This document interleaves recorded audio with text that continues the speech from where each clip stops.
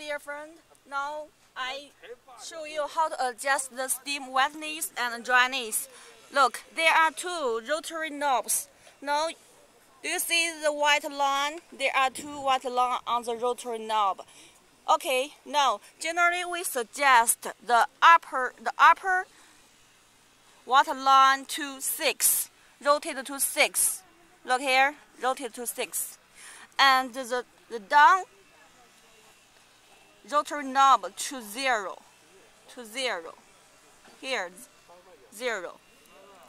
Now the steam is the driest, driest steam.